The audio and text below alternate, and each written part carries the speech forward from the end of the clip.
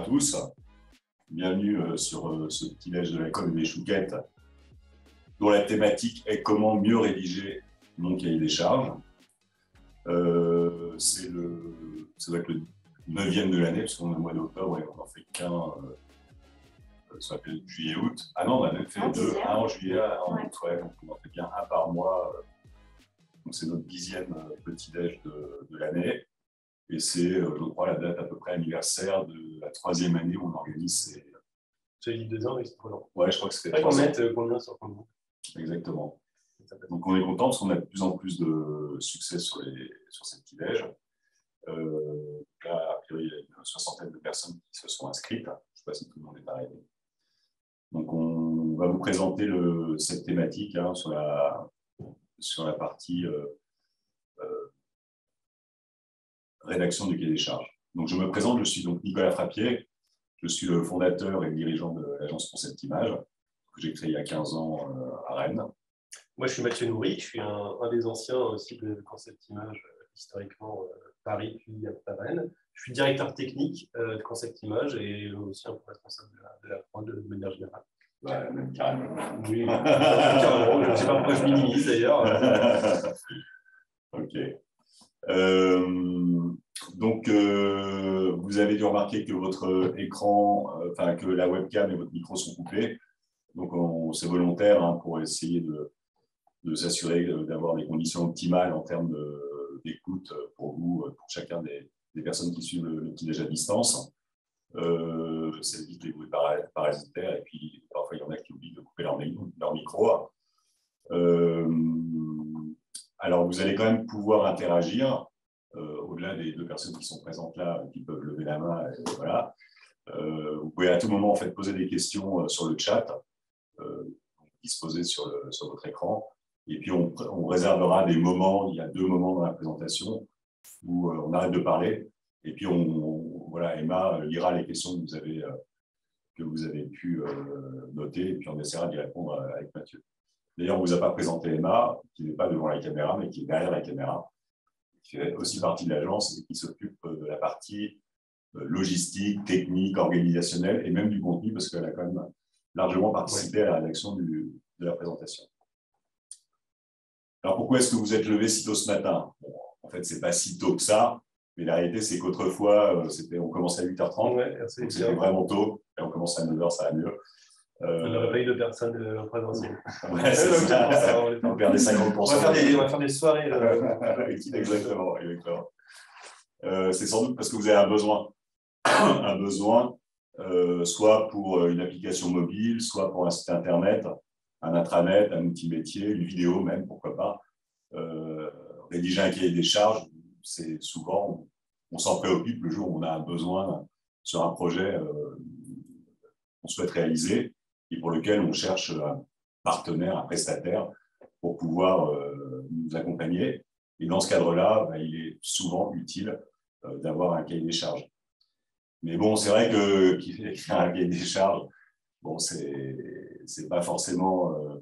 Il faut, faut s'y mettre, quoi. hein. C'est quand même du boulot, c'est du temps. Euh, c'est pas mal de rédactionnel aussi. Donc, euh, bah, ça euh, on a un peu la flemme. Et puis, donc, sachez par rapport à ça qu'il y a aussi, euh, d'ailleurs, c'est une prestation que, l'agence propose. Vous pouvez être accompagné pour la rédaction du cahier des charges. On appelle ça l'assistance à maîtrise d'ouvrage.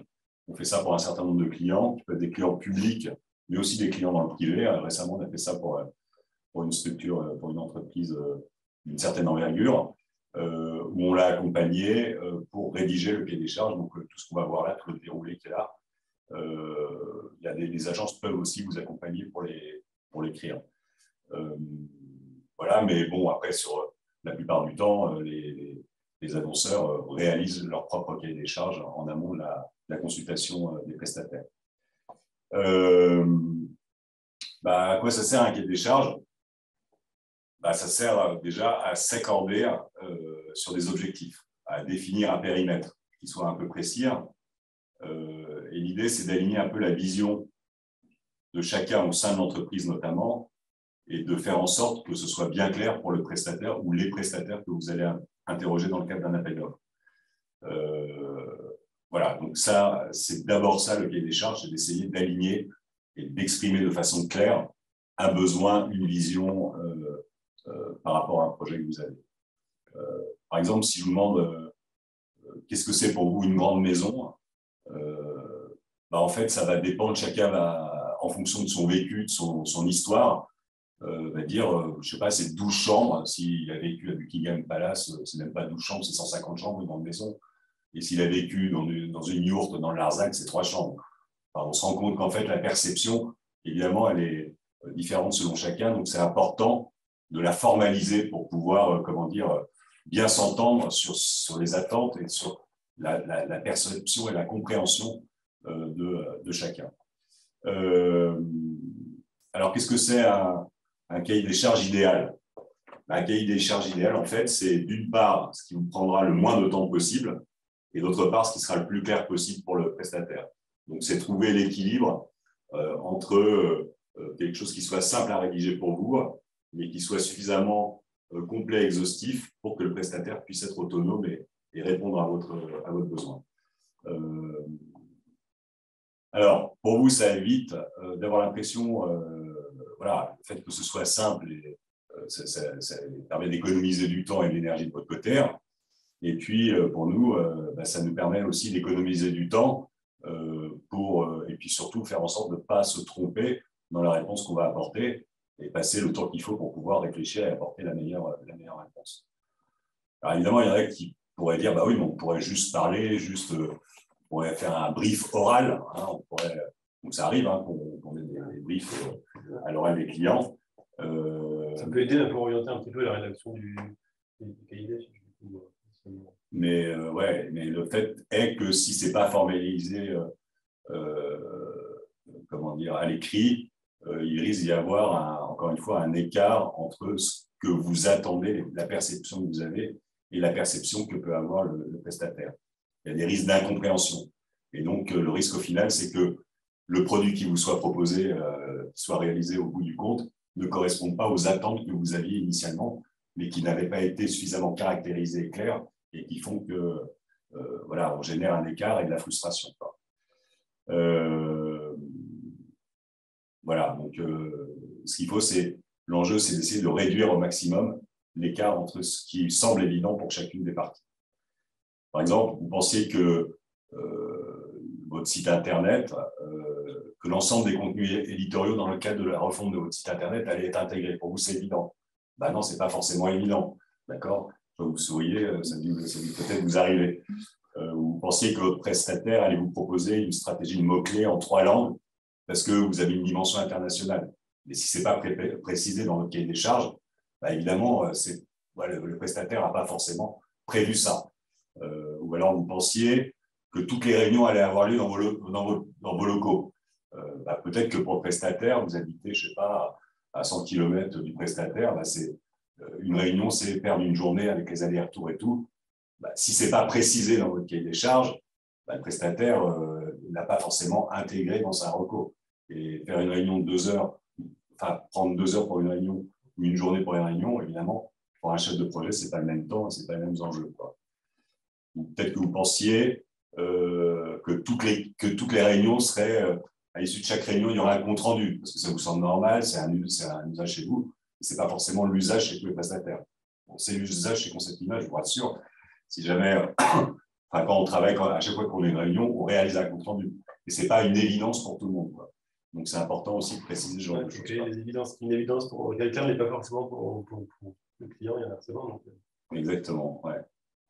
Euh, et souvent, en fait, ces, incompréhensions euh, qui génèrent des frustrations et qui peuvent générer des tensions entre un prestataire et un client sont souvent liées au fait que le cahier des charges n'était pas suffisamment euh, complet et précis.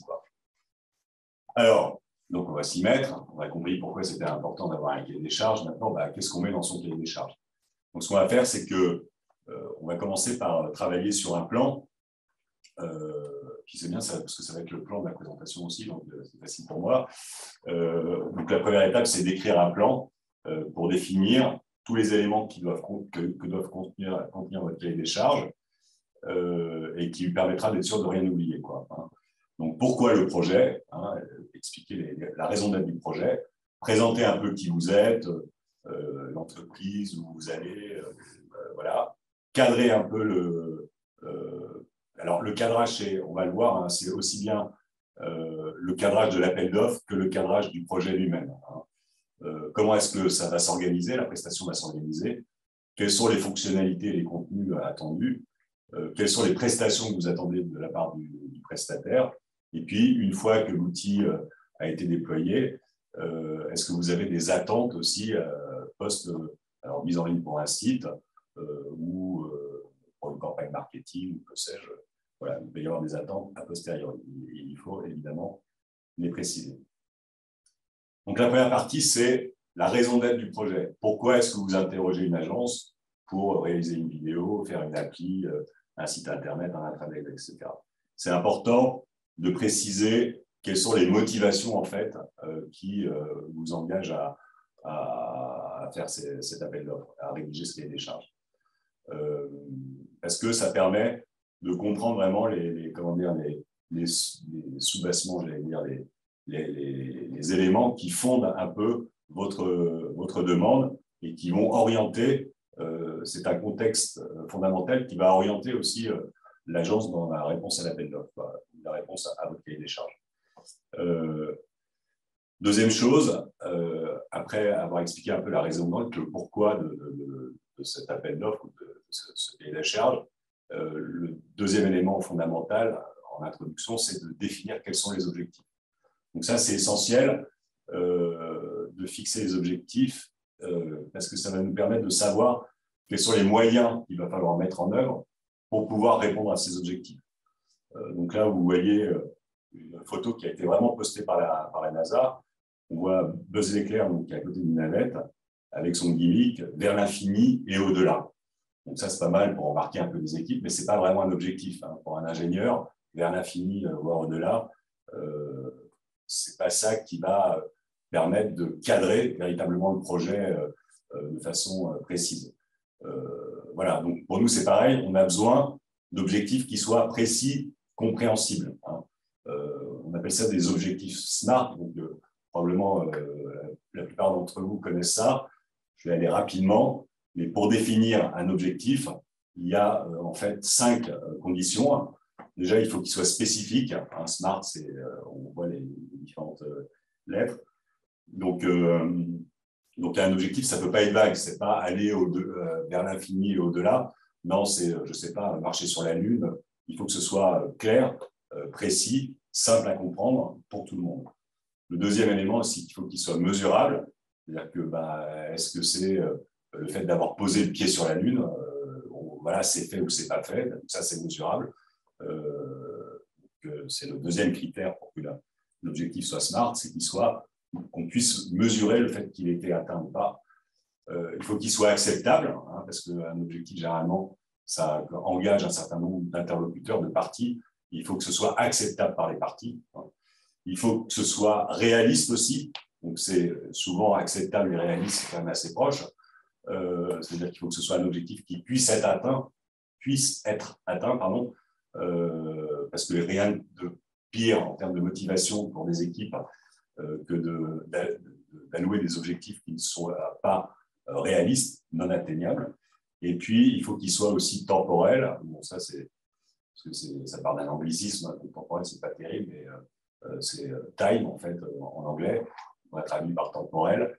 Il faut qu'il y ait une, durée dans le temps qui soit, qu'on fixe un, une échelle de temps par rapport à, l'objectif. Euh, voilà, donc c'est très important en amont de votre cahier des charges, encore une fois, après avoir défini la raison d'être, de définir des objectifs qui soient clairs, réalistes, mesurables euh, pour, le, pour le prestataire. Troisième point euh, en amont de votre cahier des charges, c'est de définir des cibles, évidemment, parce que évidemment, ça orientera, orientera pardon, toute la, toute la, les éléments de réflexion et de réponse du prestataire. Euh, bien comprendre euh, qui ils sont, quels sont leurs besoins, quelles sont leurs attentes, euh, pour pouvoir, encore une fois, cadrer le, projet de façon la plus précise possible pour le, pour le, pour le prestataire. Alors, comment euh, obtenir, ce n'est pas forcément évident euh, d'avoir une vision très précise des cibles qu'on souhaite adresser par rapport à, un projet que vous avez. Euh, et il peut y avoir, il y a des techniques, il y a des outils qui peuvent vous permettre de, comment dire, de mieux appréhender, mieux définir les attentes, les besoins, les freins, les motivations de vos cibles. pour ce faire, vous avez la possibilité, par exemple, de mettre en œuvre des questionnaires, d'envoyer des questionnaires. Donc, un moyen simple, c'est d'utiliser Google Form, euh, qui va vous permettre de très facilement diffuser un questionnaire, euh, notamment grâce à des réseaux sociaux, aux réseaux sociaux, grâce à des campagnes de mailing, pour pouvoir recueillir un peu d'éléments qui vont permettre de caractériser vos sites. Euh, vous pouvez aussi organiser des ateliers avec des, cibles, hein, identifier un, certain nombre, vous les mettez autour de la table, vous animez un atelier collaboratif pour essayer de faire ressortir encore une fois les besoins, les freins, les motivations des, euh, de vos sites. Vous avez la possibilité aussi de faire du Cali avec euh, des interviews individuelles que vous pouvez faire par téléphone. Euh, voilà, c'est aussi le moyen de, recueillir un peu les, attentes de vos cibles. voilà. Donc ça, c'est des, comment dire, différents euh, outils que vous pouvez utiliser pour essayer de caractériser les, besoins de vos cibles. Et puis, de la même façon, pour l'interne, vous pouvez réaliser exactement le même type de, tactique, si je puis dire, avec les questionnaires, les, euh, les ateliers collaboratifs les interviews, pour essayer de collecter les besoins euh, des, et les attentes en interne, notamment un site Internet. Bah, c'est bien d'aller voir les RH pour savoir quels sont leurs besoins sur un site Internet d'aller voir évidemment le marketing et la com, euh, d'aller voir la direction générale, d'aller voir euh, la DSI, d'aller voir euh, enfin, voilà, toutes les parties prenantes qui peuvent être comment dire, impactées par le, par le projet et qui peuvent avoir des besoins dans le cadre du projet que vous allez réaliser. Bon, la bonne nouvelle, c'est que vous pouvez faire utiliser encore une fois les mêmes, les mêmes types d'outils. Donc là, c'est un exemple d'un d'un atelier qu'on a organisé avec un client. C'était pour le groupe CDR en amont, on a interrogé les cibles et en aval, on a organisé avec euh, des équipes internes du groupe euh, un atelier de priorisation en fait des, euh, des cibles, parce qu'après ça, on se retrouve avec une, comment dire, avec une liste au Père Noël de besoins, d'attentes, voilà. Donc après ça, l'enjeu, c'est de prioriser, de définir des sites prioritaires et sur les sites prioritaires, quelles sont les attentes, essayer de hiérarchiser un peu les attentes pour voilà, pour, pour, y voir plus clair et, essayer de prioriser un peu les choses. Ça va, je parle trop vite, non? Non, ça va. un peu, oui, je parle non. Non, ça va. bon, je prends un peu de café. Hein. Ok, donc euh, on a la raison d'être, les objectifs, les cibles internes et externes. Euh, maintenant, on va passer encore une fois sur la, sur la partie amont. Euh, sur une troisième, un troisième élément qui est très important aussi pour les prestataires, c'est de comprendre qui vous êtes. Quoi, hein. Évidemment, les prestataires peuvent aller sur votre site web, regarder, bon, clairement, si vous voulez, c'est une refonte de site web, le site web euh, qu'on peut consulter ne correspond pas à ce, à ce, que vous êtes, parce que c'est la raison pour laquelle vous allez euh, nous solliciter les prestataires. Mais bon, présentation de la structure, donc évidemment, quand vous avez le site web, ça, vous pouvez aussi fournir des éléments, des docs, des plaquettes, je ne sais pas, des, éléments qui vont nourrir un peu le, prestataire pour bien comprendre euh, votre identité, euh, qui est votre entreprise, son histoire, quelle est votre culture, ses produits, ses services, ses activités, les valeurs de l'entreprise, l'organisation interne. Voilà, des éléments qui vont permettre de bien appréhender qui vous êtes. Donc ça, c'est très important. Et puis, au-delà de qui vous êtes, l'enjeu aussi de cette partie-là, c'est de présenter un peu votre, qui vous, quelle est la stratégie, c'est-à-dire qui vous souhaitez être, où est-ce que vous allez, quelle est la route, quelle est la vision que vous avez? Parce que si on prend le, cas, par exemple, d'un site Internet, l'enjeu du site Internet qui va être réalisé, ce n'est pas juste de dire, de prendre la photo de là où vous êtes aujourd'hui, ce n'est pas un site Internet juste pour dire qui vous êtes aujourd'hui. Le site Internet, il a vocation, comment dire, à être là pour trois ou pour cinq ans. Donc l'enjeu du site Internet qui va être créé aujourd'hui, ça va être, euh, comment dire, de présenter qui vous serez dans cinq ans de présenter un peu la route. C'est n'est pas simplement de faire la photo d'aujourd'hui, mais encore une fois, de, de vous tirer, de vous aspirer, de faire venir des prospects ou des, clients euh, pour ce que vous serez demain. pour la vision que vous avez, pour, pour comment dire, vous tirer en avant et vous faire, vous faire, vous faire avancer, progresser. Donc, il y a, encore une fois, c'est important de comprendre qui vous êtes aujourd'hui, mais aussi qui vous souhaitez être, quelle est votre stratégie, quelle est votre vision.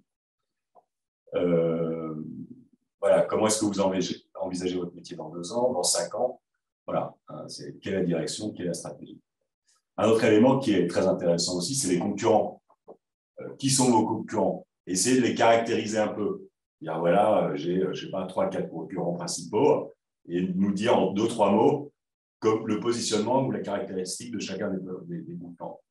Et puis aussi, parce que en fait, nous, ça va être important pour nous de comprendre qu'est-ce qui fait votre identité dans l'univers concurrentiel? Quels sont les éléments différenciants sur lesquels on va pouvoir s'appuyer pour pouvoir, euh, comment dire, euh, euh, mettre en avant vos, forces et, les éléments différenciants sur le marché?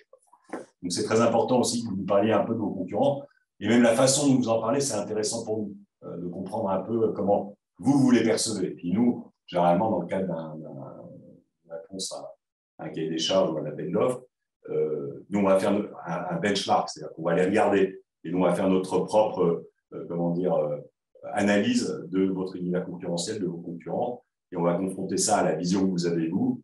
Voilà, donc tout ça, c'est des éléments qui sont riches et, qui sont utiles pour le, pour le prestataire. Voilà. Je m'arrête une seconde. Euh, est-ce que vous avez des questions? Je ne sais pas si Emma a collecté des questions. Euh...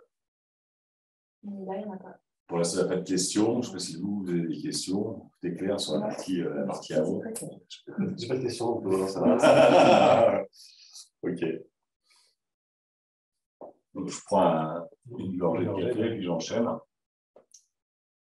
Donc, vous pouvez encore une fois, au fil de l'eau, hein, sur l'outil euh, Zoom, c'est Zoom hein, qu'on utilise, c'est ça? C'est ouais. C'est Zoom qu'on utilise. Euh, oui vous avez la possibilité de déposer des, questions au fil de l'eau. Mais bon, je parle tellement vite, j'enchaîne tellement. T'as pas, le temps. C'est la question, c'est malin. ok. J'ai enlevé mon cul aussi. Ah oui, ça, on, va, on va gagner des gens là. Ou pas. C'est la fois à déconnecter. Ok. Donc là, on a, on a, on a commencé à, rédiger son cahier des charges. On n'a pas fait grand-chose, mais enfin, on a fait l'essentiel quand même. Euh, c'est de poser le, contexte et les éléments euh, qui vont euh, nourrir la, le, pourquoi la raison d'être, encore Donc maintenant, on va passer à un truc plus pragmatique. Ça va être le cadrage. Comme je vous le disais tout à l'heure en introduction, il y a deux types de cadrage. Il faut cadrer l'appel d'offres d'une part, il faut cadrer le projet d'autre part. On va parler d'abord du cadrage de l'appel d'offres. Euh, euh, alors, un élément qui est... Euh, alors là, on va parler un peu des, fausses pudeurs des, annonceurs. D'accord? On leur demande, par exemple, bon, alors, il y a combien de prestataires consultés? Ah, ben, je ne vous dis pas parce que machin. Non, ben, dites-nous, on a besoin de savoir. On a besoin de savoir pourquoi. Bah, déjà, il y a un truc très clair chez Concept Image. S'il y a plus de cinq prestataires qui sont euh, comment dire, consultés dans le cadre d'un appel d'offres, nous, on ne répond pas. D'accord? Euh, Pourquoi on ne répond pas? Parce que on estime que c'est un peu euh, du foutage de gueule. c'est un peu abusé, je ne sais pas comment dire. C'est que faut bien comprendre que quand vous lancez un appel d'offres, quand vous mettez un cahier des charges à plusieurs prestataires, chacun des prestataires va bosser. Donc, euh, c'est quand même du boulot. Ça peut être beaucoup de boulot. Euh, demander à 12 personnes de répondre à votre cahier des charges, c'est 12 fois le boulot. Euh, c'est pas très respectueux de qui on est. Quoi. Enfin, c'est pas, pas très clean. Pour nous, c'est pas le signe. Alors, c'est peut-être involontaire de, de, votre part, donc je ne veux pas préjuger, mais sachez que la façon dont on le reçoit, nous, la façon dont on le perçoit, nous, c'est que ce n'est pas très respectueux des agences que de faire bosser 10 euh, agences euh, dans le cadre d'un appel Donc, nous, on a une règle, voilà, euh, au-delà au de jusqu'à 5, on, peut répondre. Mais sincèrement, si vous présélectionnez, si vous faites un peu un travail en amont de présélection en regardant un peu les types de prestataires qui existent sur le marché, etc. En regardant un peu les références, en regardant site et tout. Voilà, vous pouvez vous contenter d'avoir 3, 4 prestataires à, consulter plutôt que 10 ou 12. Notez bien que si vous consultez 10 ou 12 prestataires, ça veut dire qu'il y a. C'est mieux pour vous aussi. Ouais, parce qu'après ça, il y a 10 ou 12 candidatures à, euh, à éplucher. Donc, c'est aussi du taf pour vous. Donc, c'est voilà, c'est pas que pour nous, c'est aussi, euh, c'est aussi pour vous. Hein. Euh, voilà. Et puis, nous, en fait, on réfléchit aussi au-delà de l'aspect respectueux, bon, qui a peut-être un peu abusé, mais il y a aussi le fait que nous, on mesure, on essaie de mesurer le pourcentage de chances qu'on a de pouvoir remporter l'appel d'offres. S'il y a 10 prestataires, ben, ça fait 1 sur 10. S'il y a 3 prestataires, ben, ça fait 1 sur 3. Donc évidemment, si le pourcentage de, euh, de chances de gagner est meilleur pour nous, on a plus envie d'essayer de s'investir dessus. C'est aussi, voilà, essayer de gérer aussi la motivation des prestataires. Euh, deuxième point, euh, le temps accordé pour répondre. donc ça, c'est c'est important de réfléchir un petit peu aussi, se poser la question du temps que vous allez laisser au prestataire. Bon, laisser une semaine pour, je sais pas, pour un site web, une semaine ou dix jours pour un site web pour répondre à un appel d'offres sur un site web, c'est pas cohérent, c'est pas très sérieux. Quoique, si c'est un petit site et que l'enjeu pour vous, c'est un enjeu, l'enjeu majeur dans le cas de l'appel d'offres, c'est la, la réactivité parce que vous avez un site à déployer euh, dans deux mois ou dans trois mois, un petit site, un webpage, je sais pas quoi, qui doit être déployé dans deux mois. Donc l'enjeu pour vous, c'est d'identifier des prestataires ultra réactifs. Vous pouvez dire, voilà, ça peut être un choix de dire, vous avez 10 jours pour répondre à l'appel d'offres. Parce que, en fait, votre enjeu, c'est la capacité à répondre, à la réactivité de l'agence qui va être prioritaire pour vous. Voilà. Autrement, bon, il faut euh, laisser le temps euh, euh, aux prestataires de s'organiser. Encore une fois, c'est du temps, c'est du travail. généralement, les agences continuent à travailler alors qu'ils sont, un travail pour d'autres clients, sont en prod avec d'autres clients alors qu'ils travaillent sur des appels d'offres. Donc, euh, euh, voilà, il faut laisser, je ne sais pas, 3, 4, 4 semaines. Voilà, 3, 4 semaines pour, pour répondre à l'appel d'offres, c'est pas mal. Encore une fois, ça dépend aussi de ce que vous mettez à l'intérieur. Euh, plus de temps, ça n'a pas de sens non plus. Parce qu'il n'y a plus de rythme, il n'y a plus de. Voilà, c'est important qu'on soit un peu pressé, que ce qu'il y a un peu un enjeu de timing ça, mobilise les équipes en interne aussi. Donc voilà, entre trois semaines et un mois. Euh, mais c'est intéressant de réfléchir pour voir quel est, en fonction des critères que vous avez, euh, vous pouvez aussi adapter cette durée. Définissez des critères de décision. Euh, qu'est-ce qui est le plus important pour vous? Hiérarchisez un peu ces deux, trois, quatre critères, cinq critères qui vont faire que, comment dire, c'est ces éléments-là qui sont prioritaires pour vous et communiquez-les aux agences pour que nous, on sache qu'est-ce qui est important pour vous. Alors, dans, le, dans les appels d'offres publics, ça fait partie de la, règle de la commande publique. Ils nous disent, euh, ils mettent carrément des, pourcentages voilà, sur euh, le prix 30%, la méthodologie 50%, les références 20%. ils définissent les critères et ils les pondèrent avec des pourcentages. Bon, c'est peut-être pas obligé d'aller jusqu'à ça, mais jusque-là, mais pourquoi pas mais en tout cas, dites-nous qu'est-ce qui est important pour vous, quels sont les critères clés qui orienteront votre décision? Et puis même pour vous, dans le cadre de la rédaction de la, euh, cahier des charges, ça vous permettra, quand vous recevrez les offres, d'avoir aussi une grille pour pouvoir lire les, euh, regarder les. Pour vous, le rien que se poser la question, en fait, se poser la question, c'est intéressant, en fait, justement, de savoir euh, si en plus ça passera ou pas auprès de la direction, des choses comme ça, en fonction de ce que c'est. Même rien que pour vous, c'est une information qui est intéressante. Justement, ça permet d'orienter votre, projet. Tout à fait. Donc, bah, ça peut être quoi? Ça peut être la créa, par exemple. Ça peut être euh, l'ergonomie du site, euh, sa technicité, parce que vous avez des enjeux techniques forts. Ça peut être euh, la dimension relationnelle que vous allez pouvoir créer, par exemple, sur un site web entre les internautes et le site.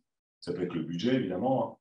Ça peut être le conseil, la capacité de l'agence à vous accompagner dans la réflexion amont. Ça peut être le planning, hein, j'en parlais tout à l'heure, il peut y avoir une échéance euh, forte. Ça peut être la méthodologie qui est, proposée. Euh, voilà. Bon, en tout cas, ça ne peut pas être tout ça à la fois. Quoi. ça, c'est sûr. Ça, c'est juste impossible. Hein, ce que je disais, euh, voilà, sur les différents critères qui sont présentés là, prenez-en un, deux, trois et hiérarchisez-les là, mais ne dites pas que votre priorité, c'est tout ça, parce qu'il n'y a plus de priorité. Quoi. Euh, 8 maquettes, vraiment. Alors, bon, la chance qu'on a, c'est qu'autrefois, à chaque, à chaque, à chaque réception d'appel d'offres, c'était écrit nous voulons trois maquettes, trois pistes différentes, machin, etc. c'était juste insupportable. D'autant, au-delà du fait que bah, c'est beaucoup de temps, faire une maquette, c'est beaucoup de travail. Euh, c'est euh, de la réflexion amont, c'est des créas qui travaillent, c'est des allers-retours, c'est du boulot. Trois maquettes différentes, c'est juste n'importe quoi parce que c'est impossible. Euh, et en fait, même, il faut se poser la question est-ce qu'une maquette, maquette, est-ce que ça, c'est vraiment un, besoin pour, pour vous Peut-être, je ne dis pas. Mais c'est, je dirais que trois fois deux fois sur trois, ça n'est pas, ça n'est pas vraiment un besoin. Parce que en amont de la maquette, il y a généralement chez les clients des besoins d'accompagnement sur l'identité, sur qui on est, où on va, peut-être sur la charte graphique, sur euh, euh, la partie UX, la structuration, euh, quels sont les besoins des, bien définir les besoins des cibles, les parcours utilisateurs. Donc, si on n'a pas fait tout ce travail de réflexion amont, mais que déjà on nous demande de réaliser une maquette, c'est un peu mettre la charrue avant les deux. Quoi. Vous voyez ce que je veux dire? Donc réfléchissez bien. Je ne dis pas qu'il ne faut jamais faire de maquette, il faut jamais, je dis pas. Mais je dis que deux fois sur trois, ce n'est pas utile de demander une maquette. Voilà. Donc, euh, voilà. Donc, il faut vraiment se poser la question. Euh, en revanche, il y a plein de trucs, en fait, qui, sont intéressants d'intégrer à votre cahier des charges et que rarement on nous demande. Donc, on va vous dire des trucs qui nous intéressent que rarement on nous demande. Euh, par exemple, la méthodologie c'est important. rarement on me demande, j'exagère parce que c'est quand même moi. Euh, de, ouais, demander. Mais euh, c'est important de savoir comment bossent les agences, de voir quelle est la méthodologie. Au-delà des méthodologies, ce qui est intéressant quand vous recevrez les, réponses des, prestataires, c'est de voir dans quel, quel est le degré d'adaptation de leur méthodologie ils mettent en œuvre dans, le cadre de la réponse à votre appel d'offres. Parce que la réalité, alors tout le monde, toutes les agences ont des méthodologies. Hein. il y a je sais pas, 12 slides, on fait copier-coller, bam, pour chaque réponse à un des charges, on remet notre méthodologie normale et puis on balance et tout pareil. C'est pas vrai. La méthodologie, c'est pas la même en fonction des clients, en fonction de la qualité de leur cahier des charges, de leur degré de maturité par rapport à la compréhension des besoins, des cibles, euh, sur leur identité, le machin, etc. C'est pas le même, en fonction de leur organisation interne et tout, c'est pas la même méthodologie qu'il faut appliquer. Donc, demandez de parler de la méthodologie et regardez si c'est un copier-coller, la méthodologie, c'est toujours la même, ou si l'agence a fait l'effort de comprendre comment vous étiez organisé, là où vous en étiez, et que la méthodologie était adaptée à vos besoins à parler. C'est intéressant. Euh, des références.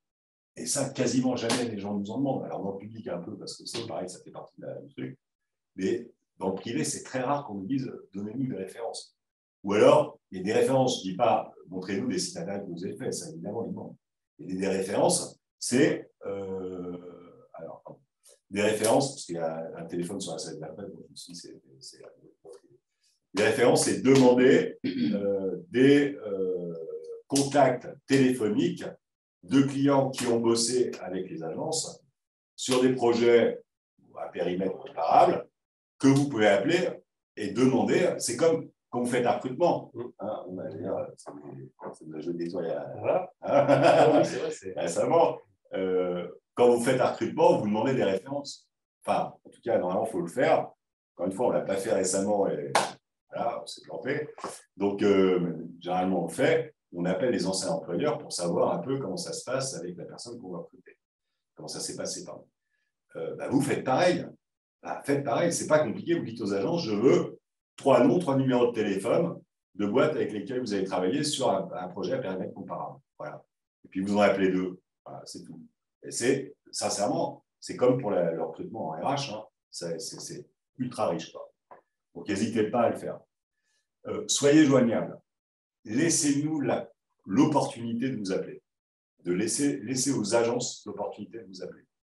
Euh, alors, dans le cadre public, c'est un peu contraignant parce que il faut qu'ils mettent, il faut qu'ils publient sur la plateforme euh, les questions et les réponses. Là, c'est très cadré, c'est plus, euh, plus, plus, compliqué. En revanche, dans le privé, vous n'avez pas ces problématiques-là. Voilà, laissez les, agences vous appeler Puis c'est intéressant pour vous parce que vous verrez les gens qui s'impliquent vraiment, les gens qui vous appellent, puis vous verrez les questions qu'ils vous posent. Est-ce que c'est des questions pertinentes ou est-ce que c'est des questions euh, bateaux, euh, sans intérêt? Est-ce que c'est des questions qui vont vous faire réfléchir ou est-ce que c'est des questions euh, qu'ils auraient pu retrouver dans le cahier des charges? Ben Voilà, tout ça, ça vous donne des indices, ça vous donne des, infos sur, la qualité du prestataire. Maintenant, on va parler du cadrage du projet. Euh, alors, le projet, il bah, faut parler de la deadline, il faut parler du, planning. Hein. Quand est-ce de la deadline, faut en parler. Parce que le planning, ça, c'est nous qui avons plutôt répondre sur le planning. Mais sur la deadline, c'est à vous de fixer la deadline. Pour quand est-ce que vous voulez votre vidéo, votre site internet, votre internet et euh, attention, alors, nous dites pas c'est pour hier, machin, etc. soyez raisonnable aussi sur la deadline. Euh, euh, nous pressez pas trop. Hein. Un site web, euh, il faut le temps de la conception, euh, le temps euh, de la réflexion, de la création, le temps du développement, de l'intégration des contenus, du recettage, le temps de la mise en ligne, machin. Il ne faut pas croire un site internet, faire un site internet de taille standard, si je puis dire. Chez Concept Image, il faut au moins 3-4 mois. C'est normal, c'est le temps parce qu'il faut faire des allers-retours, il faut euh, passer le temps aussi de la, collaboration ensemble, etc. Euh, que ça s'inscrive dans nos plannings, que, voilà, que les choses puissent être faites dans le temps et, proprement les unes après les autres. après, vous pouvez dire, j'ai besoin de mon site Internet dans un mois et demi. Bon. Euh, alors après ça, on peut faire des choses mal très vite, c'est aussi possible. Mais c'est l'intérêt de personne, ni de vous, ni de nous, parce que c'est générateur de frustration et de mécontentement euh, en revanche, vous pouvez avoir une vraie problématique. Vous pouvez, avoir, par exemple, il y a un salon là, qui va commencer le, 2 janvier et euh, l'équipe commerciale vous dit euh, bah, j'ai besoin pour le 2 janvier d'un d'un nouveau site web pour collecter les opportunités, machin et tout, d'une appli. voilà.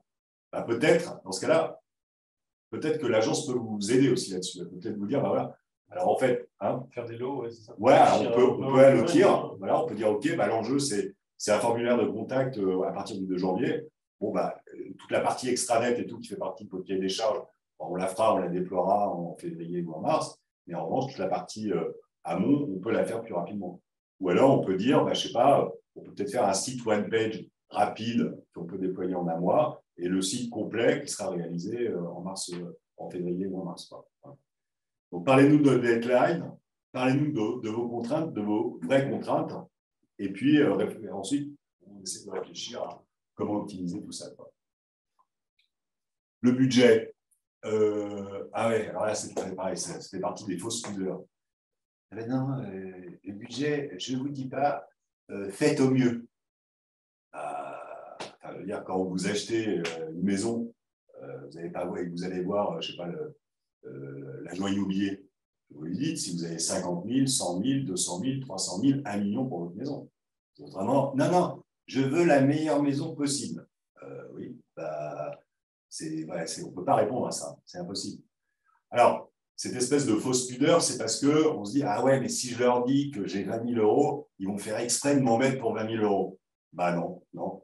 Si euh, votre besoin il est pour 12 euh, 000 ou 15 000, bah nous, on vous fera euh, comment dire, un budget sur 12 000 ou 15 000, on vous dira, bah, on peut vous proposer un shooting photo et la production d'une vidéo en plus dans le cadre de votre budget.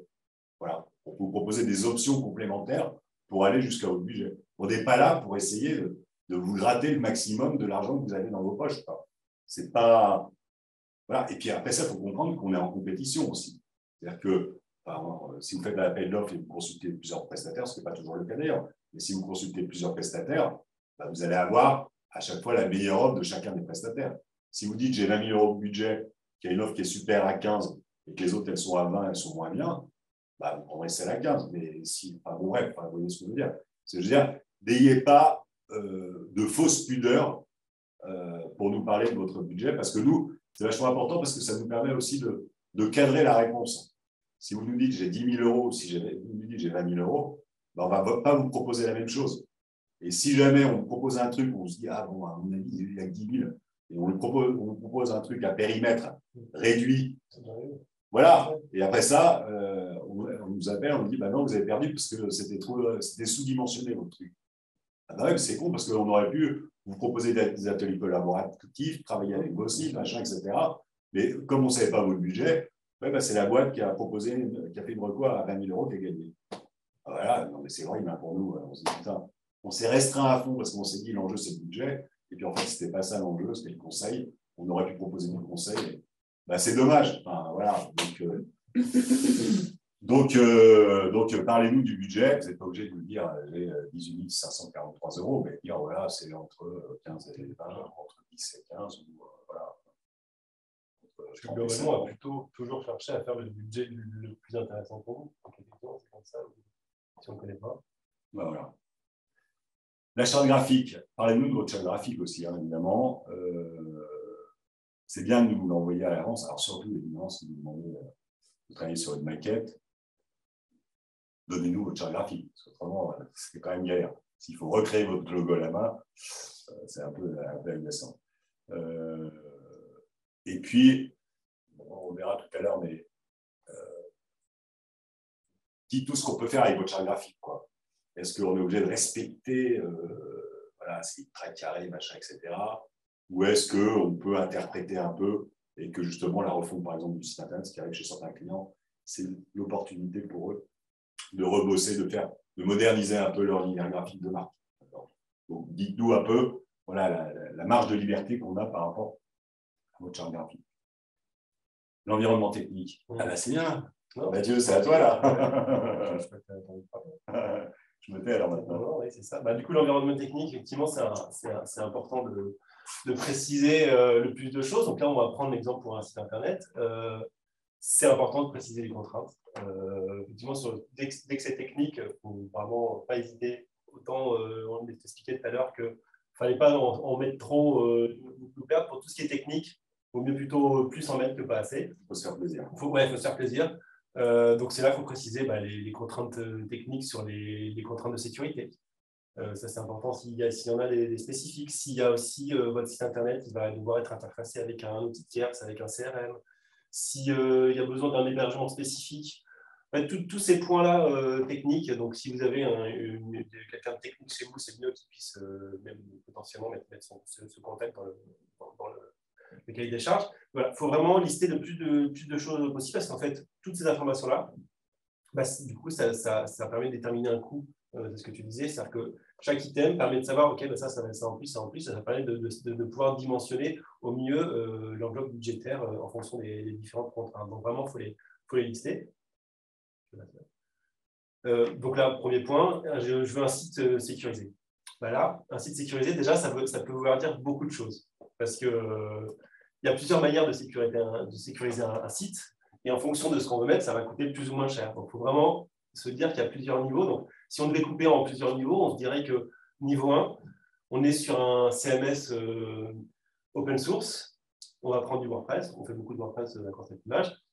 Et ben, le fait de sécuriser un WordPress, ça serait d'utiliser des plugins qui sont connus, reconnus, qui sont effectivement euh, très réputés et de les maintenir à jour, de faire les mises à jour en permanence. Bah, rien que ça, déjà, c'est un premier niveau, on sait qu'on met de la sécurité sur notre site.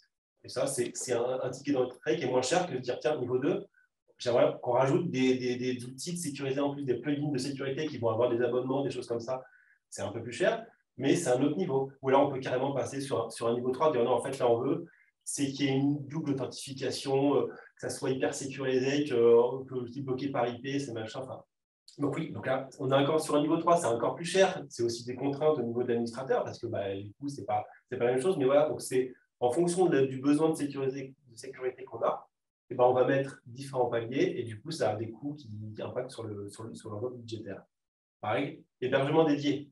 Forcément, euh, tout le monde veut se dire je veux un hébergement dédié, je veux qu'il n'y ait que moi, euh, c'est moi le plus important. Déjà, ça va vous coûter cher. Un hébergement dédié, c'est 4 000 euros par an. Donc déjà, vous savez qu'il y, y, a un coût. Euh, il faut que ça ait une pertinence. Si effectivement vous êtes Amazon, euh, c'est euh, le Black Friday, ouais, c'est assez pertinent. C'est pas 4000 balles. Oui, non, c'est pas 4000 balles. C'est un exemple. Effectivement, il y a 3 euros de plus. en fonction de, de, effectivement, du type, typologie de projet, si c'est un site où il va y avoir effectivement des commandes de billets euh, à, à, des, des, forts moments, bah, effectivement, il faut que ça soit dimensionné pour ça, pour supporter la charge. Donc voilà, c'est pertinent. Après, pareil, si vous avez des, des données sensibles, des données de santé, il y a des, serveurs euh, dédiés, c'est pertinent. Mais au-delà de ça, la plupart du temps, ce n'est pas, pas utile de, mettre ce coup-là juste pour dire bah, c'est sécurité, parce que, bah, comme je vous ai expliqué avant, il y a d'autres leviers de sécurité qui peuvent être mis en place. Le fait d'avoir un hébergement mutualisé, on le fait déjà beaucoup, c'est principalement ce qu'on a. Et en fait, euh, c'est intelligemment fait parce qu'ils sont isolés les uns des autres, même si c'est un même serveur qui, héberge tout ça, ils sont dans des espaces séparés avec les mêmes ressorts de sécurité qu'on a mis avant, c'est-à-dire que chaque site est bien fait, bien développé, bien mis à jour, donc n'aura pas un impact les uns envers les autres. Donc voilà, après, effectivement, la réflexion, elle est vraiment, est-ce que c'est pertinent d'avoir quelque chose d'isolé pour un besoin ou juste parce qu'on dit, ah, c'est quand même mieux. En vrai, euh, ça serait un, surcoût euh, inutile. Pareil, l'interfaçage. Alors ça, c'est vraiment très intéressant parce que entre un site euh, vitrine ou juste un one page et un site qui effectivement a besoin de s'interfacer CRM, c'est pas le même coût. Mais le CRM, c'est quoi? Est-ce que c'est un CRM, euh, c'est Salesforce qui est très connu, qui a des API, qui a des docs, qui a, toute une, communauté euh, qui est derrière? Ou alors c'est un CRM euh, développé en interne il y a 10 ans, avec une technologie complètement obsolète et qui n'a pas de doc, et le gars, eh ben, c'est un stagiaire il y a 10 ans qui n'est plus là, bah, il y, a, un bout de doc, bah, ça ne va pas être la même parce qu'au niveau de la communication, de trouver les infos, ça ne va être pas la même galère. Et donc forcément, ça aura un impact là-dessus. Donc, donc là aussi, il faut définir vraiment ce que c'est, comment ça va être la communication, c'est bidirectionnel, unidirectionnel, est-ce que faut s'interfacer en temps réel, ou c'est-à-dire que toutes les, trois secondes, il faut que récupère les données, ou est-ce que juste une fois par jour, ça suffit, même une fois par mois, rien que ça, ce n'est pas les mêmes services, ce n'est pas la même, les mêmes demandes, et du coup, ça peut avoir un impact bah, du coup, sur le serveur. Si effectivement le serveur a besoin d'être pré-sollicité, ça va avoir un impact. En fait, tous ces, tous ces lots-là, en fait, sont très interconnectés et donc sont nécessaires pour chacun, chaque, chacun de ces doigts. Donc, c'est là où je parlais de doc technique. Euh, autant. Ça, c'est la doc, c'est la doc du stagiaire. Ça. c'est la doc. Bah, ça peut être la doc du stagiaire, mais, mais à la limite, c'est une doc. C'est mieux qu'un euh, Idéalement, euh, si c'est propre, c'est mieux. Mais en tout cas, il ne faut pas hésiter, si vous avez des, des docs techniques, à les mettre en annexe. Euh, parce que voilà, ça sera intéressant. Déjà, rien que ça, rien que ça effectivement, l'aspect de la doc. Entre effectivement une doc un petit peu à l'arrache, tu la regardes, et le lien vers le Salesforce, machin, on va déjà dire, OK, ça va être galère, ça va faire. C'est cool, mais, mais, ça joue vraiment sur le, sur le, fait qu'on va, on va arriver à s'en sortir. Et donc, rien ça, il ne faut, pas hésiter. La solution technique attendue, c'est ce, ce qui est précisé aussi, c'est-à-dire que si vous avez une solution qui est prépondérante, il faut le préciser. Chacune des agences avec qui vous allez, euh, vous allez travailler, chaque prestataire, elle a des outils, euh, des frameworks qu'elle sait utiliser, euh, des, CMS. Hein. Elle a sa propre méthodologie, ses propres outils qu'elle est habituée à utiliser, donc elle maîtrise. Euh, et si effectivement, nous, et, j'espère les partenaires concurrents avec qui vous allez travailler, voient qu'ils ne sont pas les. Bon, ou pas, qui veulent potentiellement travailler. donc nous, excusez-moi. si on voit que les, outils qu'on maîtrise ne sont pas dimensionnés pour ce qu'on a votre besoin, eh ben, on ne va pas se positionner. On va pas, on va pas, on va le faire, tant pis, on va, on va vite se former. Ben non, parce qu'on n'aura pas l'expertise et ce n'est pas honnête pour vous. Et puis, et puis ça va être une galère pour nous. Ce n'est pas, pas de se tirer une balle dans le pied non plus, parce qu'après, derrière, on fera le projet et derrière, on va expliquer. Donc voilà, donc on va se positionner si on peut proposer une solution. En revanche, si vous avez une solution spécifique, vous avez besoin que votre projet il soit fait euh, en symphonie, euh, avec euh, une technologie spécifique, et ben, si c'est prépondérant, si c'est un gros pourcentage, il ben, faut le mettre presque en intitulé du cahier des charges web en symphonie. Parce que si c'est euh, annexé ou pas précisé, bah, on ne va pas vous le proposer. Et à l'inverse, si c'est fortement euh, marqué, bah, on va pas se positionner si on ne sait pas faire. Mm. Donc il faut vraiment le mettre en avant, le préciser, parce que bah, c'est prépondérant dans, dans, le, dans, le, projet. En revanche, c'est aussi intéressant de préciser si ça peut être, euh, si c'est du change qu'on peut mettre là-dessus, parce que est-ce qu'il y a un intérêt? Ça fait parce que ça fait 15 ans que vous travaillez sur ce framework-là, il y a 10 personnes chez vous bah oui, c'est pertinent.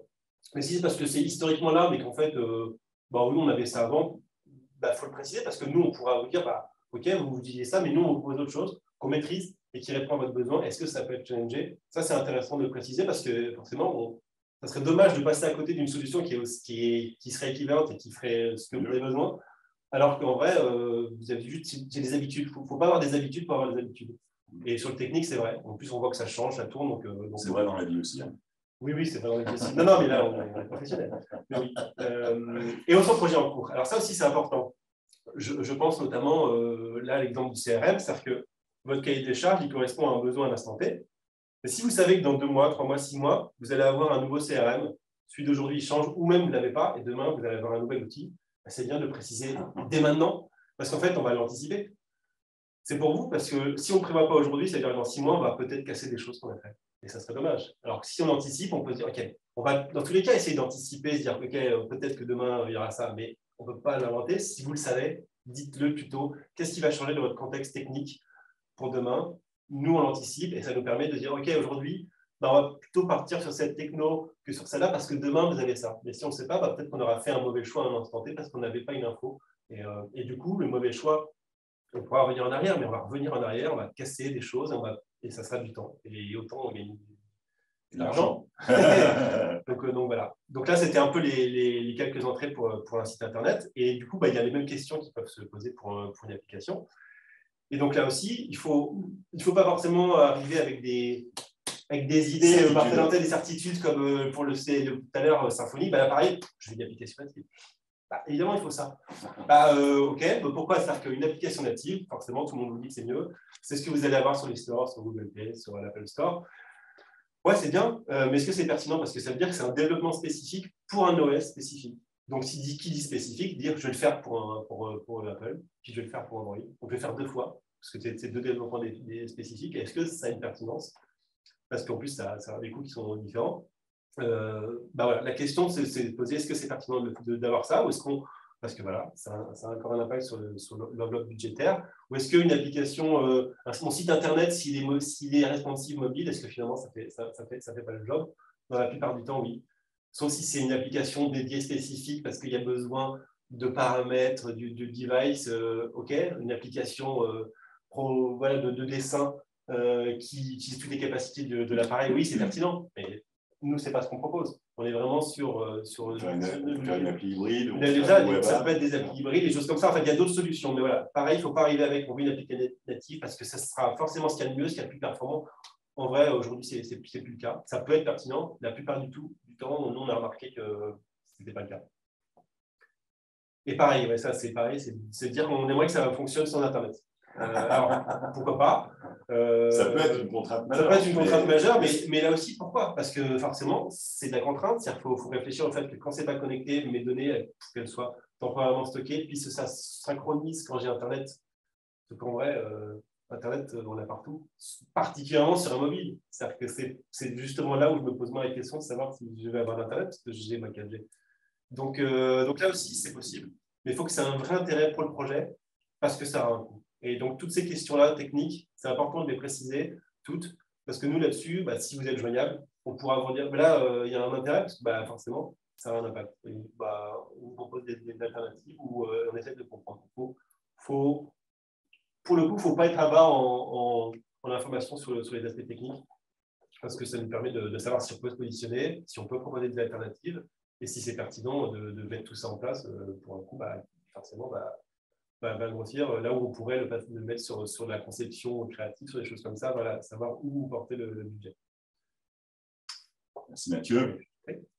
Donc maintenant, on va parler de l'organisation euh, à proprement parler. Euh, dans le cadre de votre appel d'offres. Donc, c'est important qu'on comprenne aussi un peu comment ça va s'organiser, le projet. Euh, qui, euh, qui, fait quoi, qui décide, euh, qui décide vraiment. C'est pas toujours la même chose. Hein. Ouais, non, c'est moi qui décide. J'ai fait le projet, puis à la fin, la personne va présenter le projet à son boss. le, bleu, le bleu père et père recommence. Et ben, en fait, donc, qui décide vraiment, c'est important. Il faut bien comprendre. Euh, pour qu'on puisse intégrer les décideurs vraiment à une ou deux étapes clés qui permettent de ne pas aller au bout du projet et d'obligé de tout casser et revenir en arrière. Euh, c'est important aussi d'identifier quel est l'interlocuteur principal chez le client, chez vous. Qui sera notre interlocuteur principal? Ne dites pas il y a quatre personnes à mettre en copie à chaque fois dans les échanges, parce que c'est l'enfer pour une agence. Il faut qu'on ait un interlocuteur principal qui lui ensuite peut, discuter avec deux ou trois autres, personnes, euh, pour prendre les décisions. Euh, mais nous, il faut qu'on ait qu'un seul canal de communication. Parce que quand on envoie une créa, par exemple, à quatre personnes, et que les quatre personnes nous font des retours différents, voire contradictoires, à des moments différents, c'est juste ingérable pour nous. Donc, c'est important que vous définissiez en interne un interlocuteur projet, en tout cas en termes de canal de communication, qui soit unique. Euh, Et puis, ce que je disais, n'hésitez pas à impliquer vos, supérieurs. Définissez les moments clés, peut-être la validation de la créa ou euh, la validation de l'UX ou de l'ARBO, j'en sais rien. Mais en tout cas, définissez un, deux, trois moments où les top décisionnaires doivent être impliqués pour être sûr qu'on ne fasse pas fausse route, euh, fausse route sur, le, sur le Pour ma paroisse aussi, n'hésitez pas à mettre un interlocuteur technique euh, dans la boulot qui, bah, le technique par avec le technique, là, ça, ça permet aussi de pouvoir lever certaines interrogations. Parlez-nous aussi des prestataires, parce que parfois, euh, et la plupart du temps, vous avez d'autres prestataires. Euh, vous n'avez pas qu'une agence euh, conseil en communication digitale. Vous pouvez avoir, je ne sais pas moi, une agence qui s'occupe plus de la partie print, une agence qui s'occupe de la partie événementielle. Vous pouvez avoir enfin, différents types de, je je sais pas, vous pouvez avoir un freelance qui vous, qui vous fait les fiches produits, par exemple, n'importe quoi. vous pouvez avoir un écosystème de partenaires pour avoir quelqu'un qui spécifiquement du SEO ou spécifiquement du marketing ou des traducteurs, des machins. Donc, parler un peu de l'écosystème du projet, des gens qui vont être impliqués, euh, de qui intervient, sur quoi. Définissez aussi, peut-être que vous avez l'habitude de travailler avec un hébergeur spécifique. Euh, bah, parlez-nous hein, sur Parlez-nous de l'hébergeur, c'est qui? Éventuellement, mettez-nous les, coordonnées si vous avez besoin de deux, trois trucs. Mais parlez-nous un peu de l'écosystème autour du projet pas simplement de la partie qui nous, qui nous concerne, et définissez bien le périmètre d'action de chacun. Euh, c'est important, euh, important. Ah ben c'est, on arrive enfin à des choses concrètes. Hein.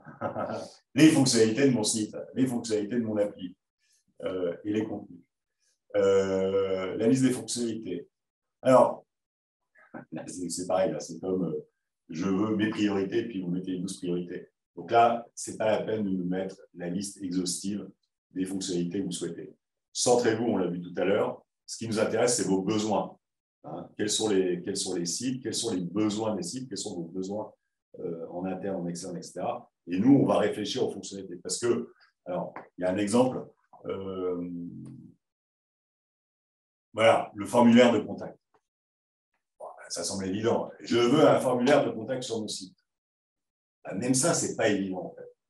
Alors, il y a un exemple, euh, ce n'est pas moi, c'est Elisabeth qui travaille avec nous, hein, qui nous a donné cet exemple-là. Euh, il y avait une poissonnerie en fait, qui souhaitait que ses clients puissent facilement la contacter pour pouvoir passer des commandes. D'accord? Donc, elle a dit Je veux un site internet avec un formulaire de contact. Comme ça, les gens ils pourront me contacter, pour me, me passer des commandes et euh, je pourrais. voilà. Bah, en fait, le besoin, c'est pas ça, c'est pas un formulaire de contact. Le besoin, c'est euh, euh, que mes clients puissent facilement me contacter pour me passer des commandes. En fait, ce n'était pas un formulaire de contact dont il avait besoin. Ce dont il avait besoin, c'était d'une fiche plastifiée qui puisse mettre avec euh, des huîtres ou dans le sac de poisson. On arrive à la maison, on lave, on puisse le mettre, comment ça, clic au frigo, là, avec une magnette, une magnette sur le frigo, avec le numéro de téléphone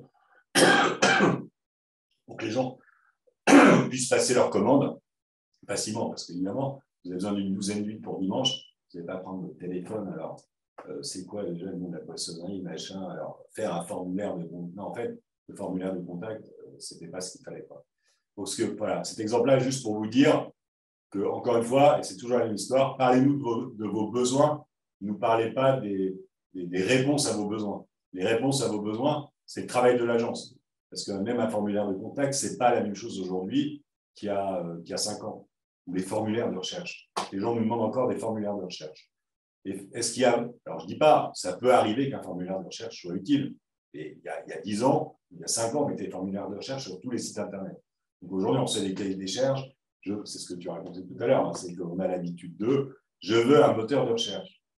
Ah, en fait, non tu n'as pas besoin, tu as 10 produits ou 5 services, euh, ton site il a, euh, je sais pas, 30 pages, euh, avec une arborescence bien, bien organisée et un UX bien fait, on n'a pas besoin de moteur de recherche sur site. Ouais, on voit si, le, si le, SEO est bien fait, si ça sera référencé dans Google, et finalement les entrées vont se faire par là, c'est faut mieux travailler ça qu'effectivement moteur de recherche pour chercher par des pages. Exactement. Donc, voilà, parlez-nous des besoins, expliquez-nous pourquoi si vous dites je veux un formulaire de recherche, ok, mais pourquoi? Pourquoi est-ce que vous voulez un formulaire de recherche?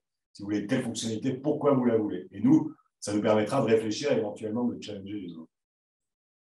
Alors, les bonnes pratiques. Euh, donc, les bonnes pratiques, ce n'est pas la peine de nous en parler, parce que ça, on les connaît, en fait, les bonnes pratiques. Hein.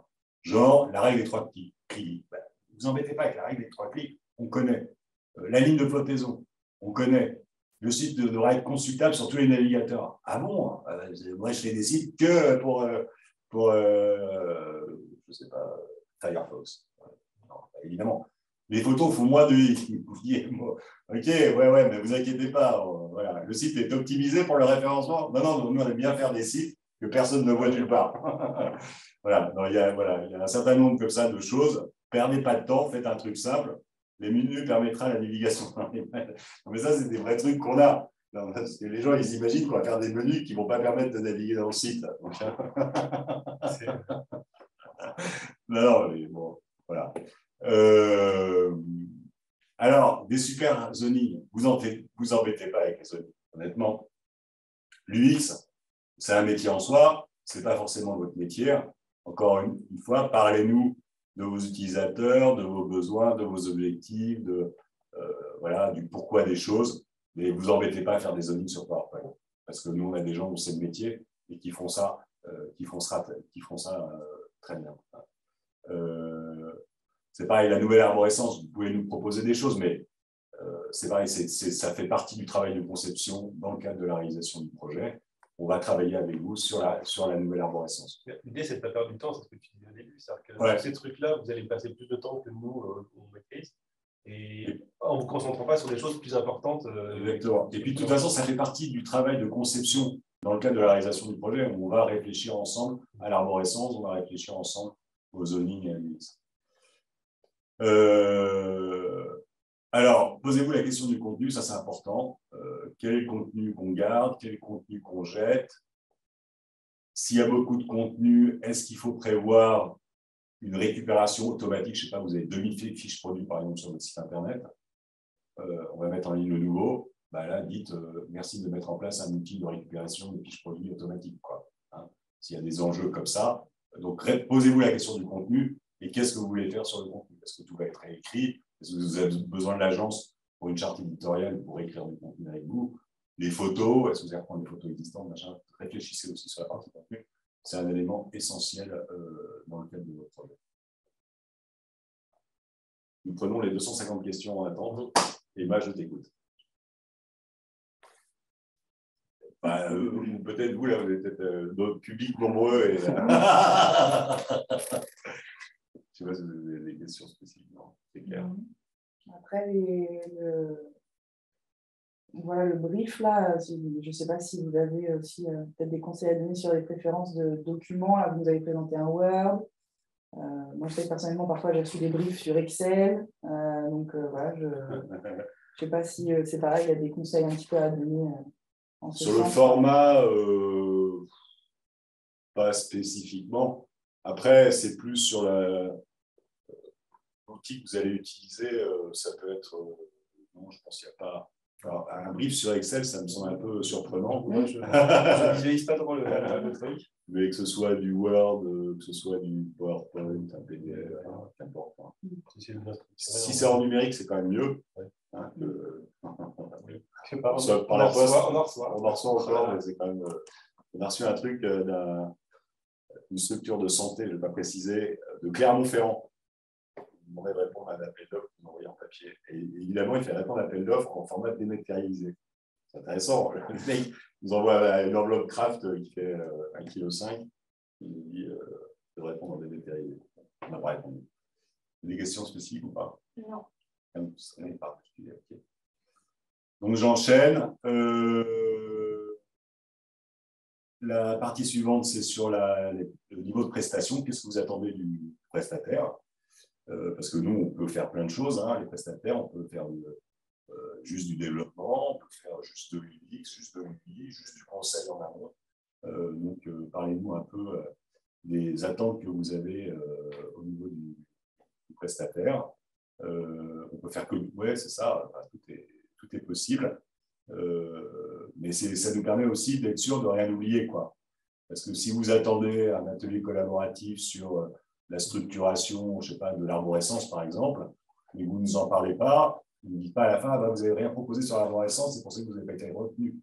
Ah bon, on ne savait pas qu'il fallait. Euh, donc euh, voilà, réfléchissez au périmètre d'intervention de l'agence et précisez un peu les choses. Expliquez-nous aussi le niveau de liberté qu'on a. J'en parlais pour la charte graphique. Est-ce qu'on doit respecter à la lettre la charte graphique? Est-ce que, encore une fois, vous souhaitez nous laisser nous, nous en écarter? On en parlait sur les aspects techniques. Voilà. Le CMS, vous voulez absolument Joomla c'est ouvert. Le conseil laisser ouvert. Euh, voilà, donc euh, définissez bien le niveau de liberté que vous laissez aux agences euh, sur chacun des sujets. voilà, c'est ce que je disais. Alors, ça c'est terrible, hein, c'est hyper frustrant pour les agences quand on vous dit ah vous avez voilà soit ce, type de, commentaires quand on a perdu. Donc on rappelle, on dit ah, vous avez pris le cahier des charges trop tôt de de la net en, ne nous proposant rien de plus. Ah. Ou alors, oh là là, je voulais répondre que vous répondiez exactement, mais en fait, euh, vous avez proposé trop de choses. Ah. bon, donc définissez bien euh, le, comment dire, le, niveau de, liberté que vous laissez. Sur la charge, j'en ai, ai, parlé. Euh, et puis, voilà, encore une fois, c'est toujours la même histoire. Hein. ça permet vraiment de, cadrer les choses pour vous, comme pour nous, et ça rend les choses plus, simples. Donc, on arrivé presque au bout du cahier des charges. Euh, il reste une euh, dernière étape, c'est quid après le, déploiement. Euh, et ça, il faut aussi que vous en parliez dans votre cahier des charges, parce que c'est un enjeu aussi majeur. Vous ne pas un site Internet pour qu'une agence vous mette en ligne un site web, et se en compte. Il y a aussi un enjeu. Un site web, c'est là pour 3, pour 5 ans, et l'enjeu, c'est que le prestataire puisse vous accompagner. Donc, parlez-en. Expliquez-nous ce dont vous avez besoin sur l'administration du site. Euh, qui va s'en occuper, comment vous êtes organisé, est-ce qu'il euh, y aura des contributeurs, des administrateurs, des super administrateurs, des machins? Dites-nous euh, vos besoins, encore une fois, sur la partie administration. Sur la partie accompagnement, de quoi est-ce que vous avez besoin a posteriori? De référencement naturel, du web marketing, je sais pas, du marketing automation, enfin tout ce qui, voilà, quels sont vos besoins a posteriori Parlez-nous de la maintenance aussi. Dites-nous euh, voilà, qu'est-ce que vous attendez en termes de maintenance. Euh, voilà, expliquez-nous quelles sont encore une fois vos attentes a posteriori du déploiement du, site web.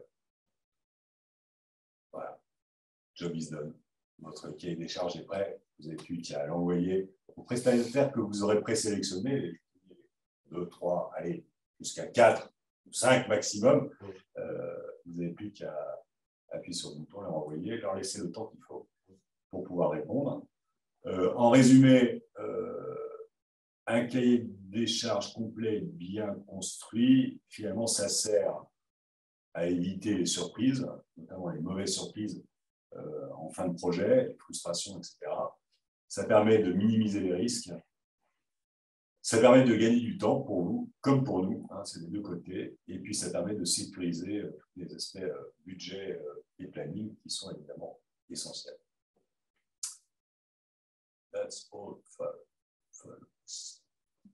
Voilà. ne repartez pas les mains vides. On va vous envoyer le support de présentation a posteriori du, petit-déj. Et puis, nous allons également vous envoyer un modèle de cahier des charges qui est orienté spécifiquement cible, je ne sais plus. Euh, c'est quand même plus euh, orienté cible. Enfin, c'est un modèle de cahier des charges, vous n'avez plus qu'à remplir. N'hésitez pas à nous l'envoyer aussi, hein, parce que si vous êtes là, si vous nous écoutez, vous, avez vous travaillez sur un cahier des charges, c'est que probablement vous avez un projet. Donc, euh, bah, si vous avez un projet, n'hésitez pas à nous consulter, c'est avec plaisir qu'on répondra sous certaines conditions qu'on vous a expliquées tout à l'heure. voilà. On fera des adaptations, euh, on mettra en rouge, tu sais. ouais, c'est ça. bien souligner tes fautes d'orthographe. Euh, les prochains petits déj, donc euh, lancer son podcast À quoi ça sert, comment s'y prendre, donc le 25 novembre.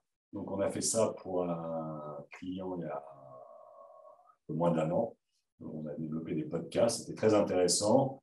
Et donc, on a réfléchi aussi sur tout, ce sujet, ce nouveau média, qui est un média évidemment qui prend une ampleur euh, chaque jour plus importante. Euh, qui est, voilà, c'est très intéressant. Et on a un cas, encore une fois, concret sur lequel on va travailler. et puis, au mois de décembre, donc là, on parlera plus de l'assistance à maîtrise d'ouvrage dans le cadre bah, que le fait de confier donc, non seulement la rédaction du cahier des charges, l'expression des besoins, etc. Enfin, tout ce dont on a un peu parlé là. La partie aussi un peu amont pour définir les sites et tout. Et puis la partie aval, euh, toute la partie euh, comment dire, consultation euh, des entreprises, réception des offres, comment dire, organisation d'un entretien avec les, prestataires retenus, grille de choix, etc. Enfin, tout, ce que, tout ce qui peut être proposé en termes d'accompagnement à à la maîtrise d'ouvrage pour un projet un peu un projet d'ampleur. Ce qu'on fait pour un certain nombre de clients, et c'est assez intéressant aussi, c'est assez complémentaire de ce qu'on a vu aujourd'hui. Hein.